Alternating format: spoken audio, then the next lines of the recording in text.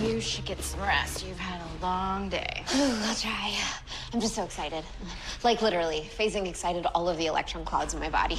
Well, if you're not tired, two scoops of cookie dough ice cream sound good right now. From Happy Harbor?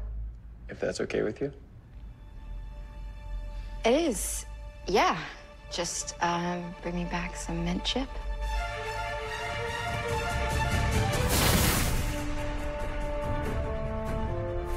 My name is Nora West Allen, and I'm the fastest woman alive. When I was a child, my father disappeared in something impossible. Then I grew up and became the impossible.